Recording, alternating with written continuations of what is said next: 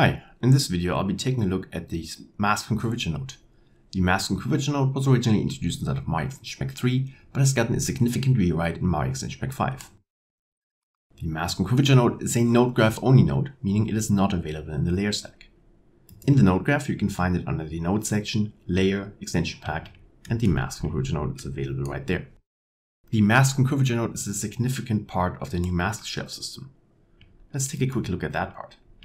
I'm going to go to the masks, mask shelf, and create one of these smart masks. I will be covering more in depth this part later on. I'm going to import this dialog. Again, I will cover this in a minute and take a look inside of this smart mask node. So I'm going to select the node and control double click and I'll end up into in the subgraph of the smart mask. I'm going to go to the curvature section and in here you have your mask and curvature node. So all the settings I'll be covering in this video, you'll also find inside of your smart masks if you go to the subgraph. So this will allow you to further tweak your smart masks to your liking. But for now, let's just stick to the node itself. The mask curvature node has a variety of port inputs that need to be mapped in order for the node to work correctly. As the name implies, you require a curvature map for it to work. So in my channels list, I have a curvature channel here and I set it to linear and scalar. This is important so that your midpoint of 0.5 on your baked map is actually interpreted as 0.5 and not gets like an sRGB lookup or something.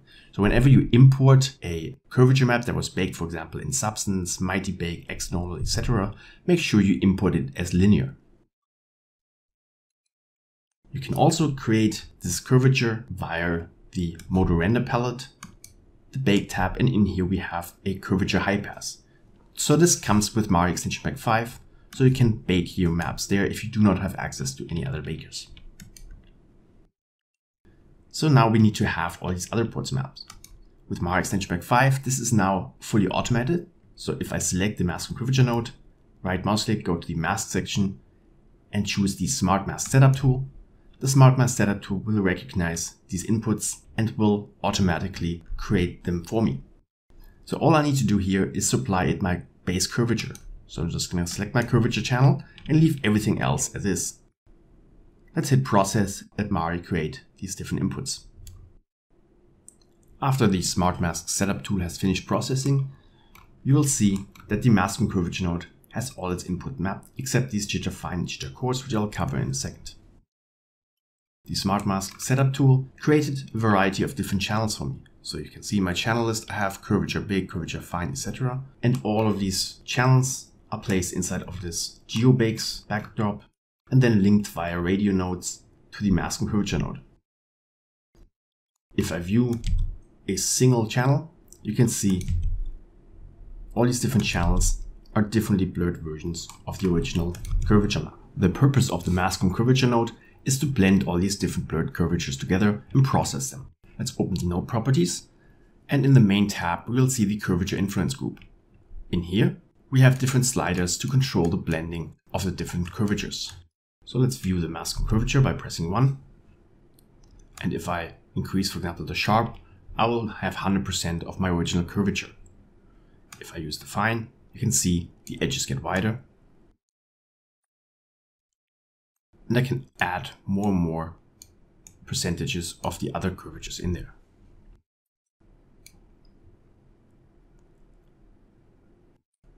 The mode provides different processing presets. In raw mode, we will overlay all curvatures with a non-compressing blend mode. In edges, the edges are favored, cavities, the cavities are favored, and in dual mode, both the edges and the cavities are calculated and then blended together. In the edge cavity section, you can separately control the cavity and edge intensity. So by default, the node will split the cavities and edges into two separate passes and then blend them together again to create the final output. By changing the cavity intensity, you can bias this processing more towards one or the other. Finally, in the adjustment settings, we have some basic grade options such as contrasting, a bias, a gain, and you can invert the final result. Let's reset all these options to their defaults.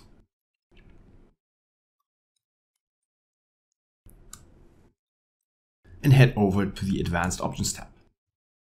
The Advanced Options tab allows you to modify the processing of the curvature maps.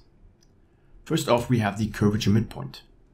As stated in the beginning of this tutorial, usually your midpoint should be at 0.5 of the map. So when you import a curvature map, you have both convex and concave areas and they all revolve around a midpoint of 0.5. So you have white, black, and the default neutral value is gray, 0.5. By using the offset midpoint, you can change the assumed midpoint for the mask and curvature node. So for example, if I set it to 0.1, the processing is going to revolve around a 0.6 value. So using the default 0.5 value that's always assumed and then adding the offset midpoint.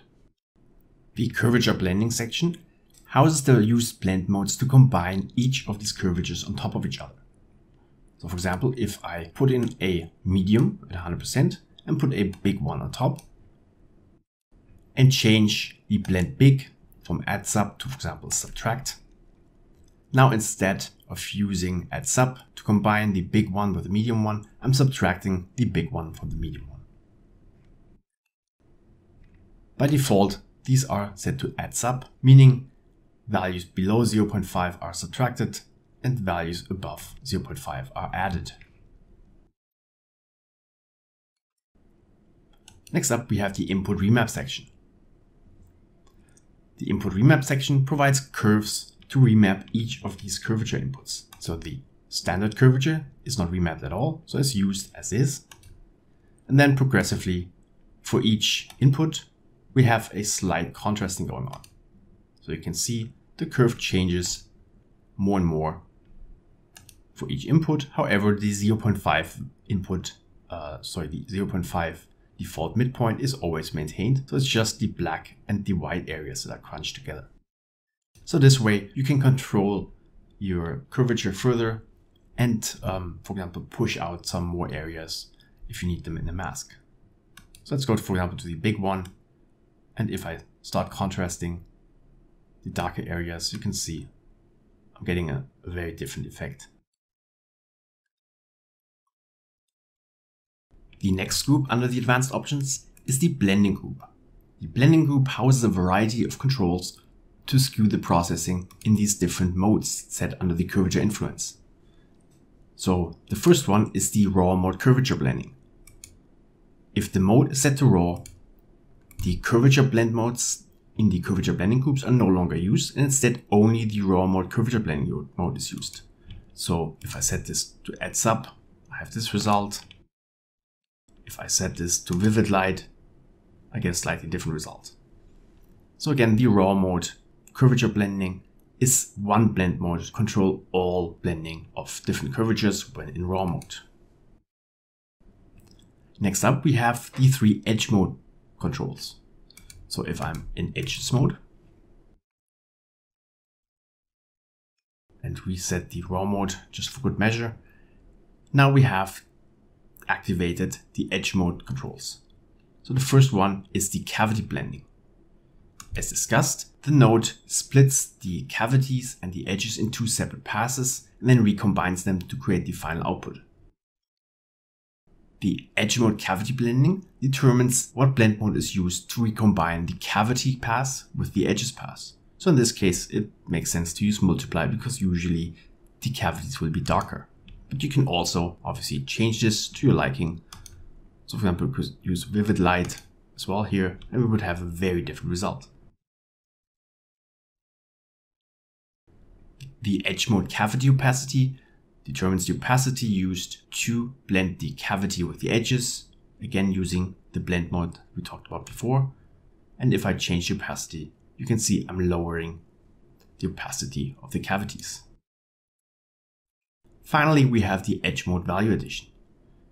As the name implies, this just adds a value to the final processing.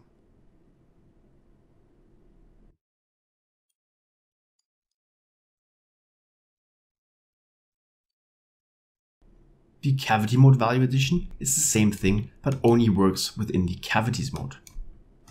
So if I go to the cavities mode, you can see I'm adding or subtracting a value. Finally, we have the dual mode options. If I switch this to dual mode, I'm using both the edges and cavities process modes and then recombining them all together. The dual mode cavity blending just determines what blend mode is used to combine the edges processing paths and the cavities paths together. So in this case, it's screen. If I set this to normal, I would only have the cavity pass. I can also try some different ones. So this looks fairly similar to what we usually have. And anyway, these are just some added controls to combine these things together in dual mode. The cavity opacity here determines the opacity used of combining the cavities pass with the edges pass. The last section of the advanced options covers jittering. Jittering allows you to offset your curvature maps with any input defined in the node graph. So when we first set up the mask and curvature, I was talking about these jitter fine and jitter coarse inputs that are not mapped by default. I will create a cloud node, so just a simple procedural cloud, and attach this to the jitter fine. If I view my curvature again, the result is already a lot fainter. So disconnect the jitter fine again. I'm getting the original result. And if I reconnect jitter fine, the cloud node is used to offset the sharp, fine, soft, and medium. Using these dropdowns, you can define which channels or which inputs also to pull to offset these curvature maps. So by default, the sharp, fine, soft, and medium are affected by jitter fine, and big, large, and huge are affected by jitter coarse, which in this case is not mapped. So let me create an FBM node.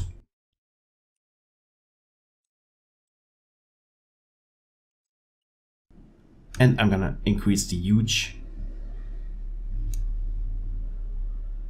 And you will see now the huge curvature is affected by this FBM node.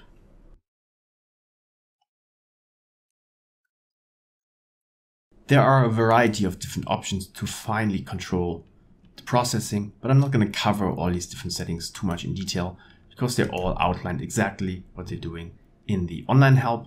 So if you go to the mask and curvature node, you will find a large section on jittering exactly explaining the math and the processing, what is happening internally. But let me just show you an example. I'm going to use the soft one and change, for example, to inverse attenuated you can see it gets a lot more contrasty in this case. So you have very detailed control over what is happening inside of the node processing. Lastly, we just have the jitter overrides. So these are global overrides for all these settings. So you can say, for example, okay, let's use whatever is connected to the jitter fine input for all the different curvatures. So if we use jitter fine for everything, even the huge, large, big, etc. are all controlled by this cloud node in this case. You can also do the same for jitter coarse, and now everything is controlled by the FBM node. This covers the mask curvature node. Like I said, it is mostly used inside of the smart masks. So ideally, if you only stick to the smart mask, you will not have to interact with this node as much, but it's nice to know a little bit of the details of what is happening inside if you want to further tweak things to your liking.